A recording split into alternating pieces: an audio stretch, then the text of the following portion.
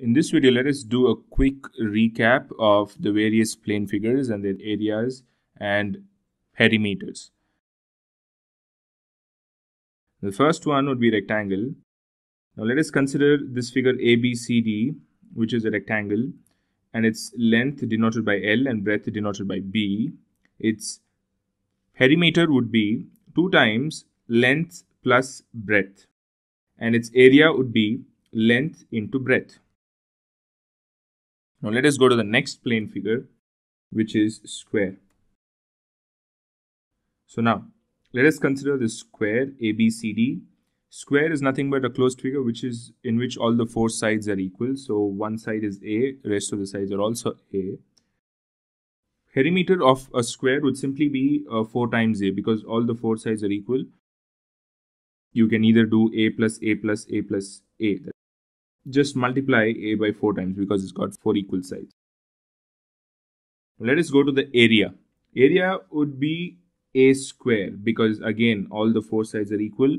Multiplication of the two adjacent sides would be a and a which is a into a is a square or side square.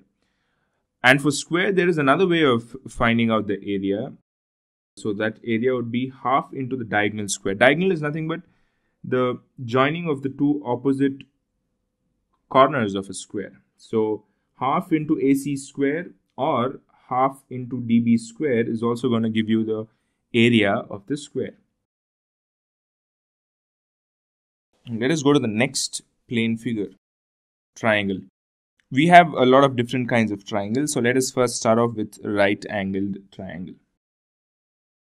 So let us consider the right angle triangle ABC perimeter of this triangle would be AB plus BC plus CA because we, need, we, we just need the total length of the sides of a closed figure. And area would be half into base into height. Now here, if you consider the base to be BC, the height definitely is AB.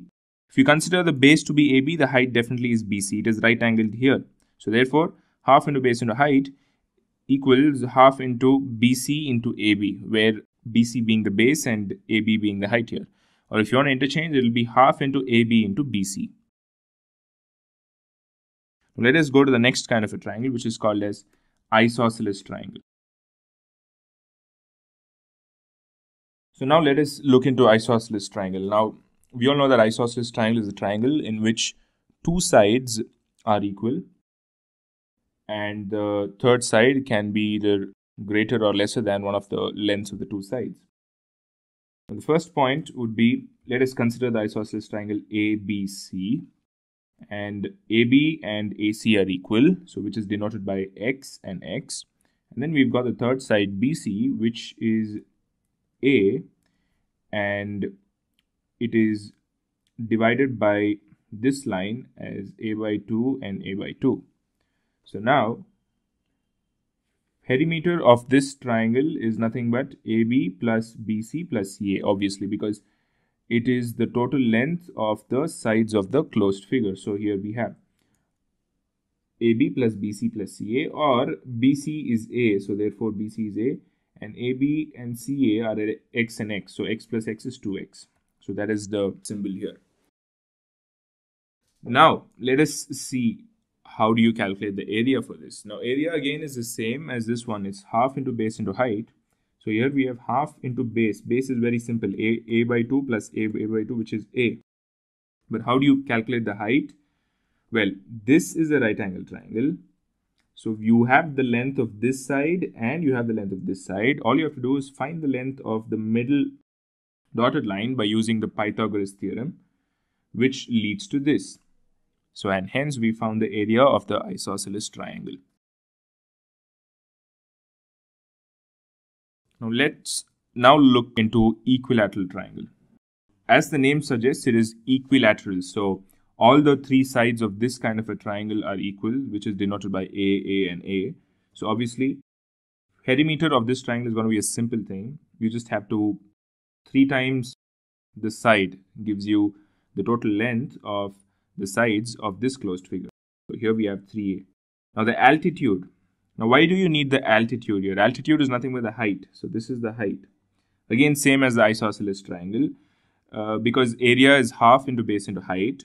So we've got the base as A, but the height is something we don't have. We need to find out. So considering this right angle triangle, we've got this as A and this as A by 2. So using the Pythagoras theorem, we get this as root 3 by 2A. So here we have root 3 by 2A. Therefore, the area is nothing but half into base into height. So half into base is A into height is root 3 by 2a which gives us root 3 by 4 a square or root 3 by 4 the side square. And hence we've got the area of the equilateral triangle.